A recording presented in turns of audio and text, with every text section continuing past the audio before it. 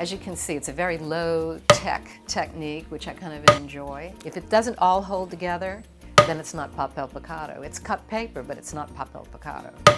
And then I have my hole punches. Everything starts out with a drawing. And in the drawing, I'm already thinking about the composition and uh, the border. Okay, do I have the tools to do this well? More importantly, I'm thinking about how am I going to make it look like I want it to look. Very difficult to go from painting and drawing to pure cut graphics. It's, it's a whole different animal. These are my brushes and my palette. I love these. This one's from Bali. This one's from Java. This is the Mexican tradition of using a lead pad to sort of soften the blow.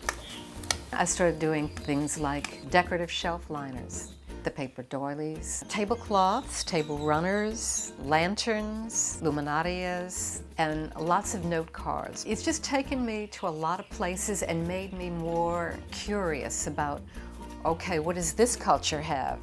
You know, um, how are they addressing these same ceremonies? It's like lace, it's paper lace. I can see a pretty little cup on there with some salsa.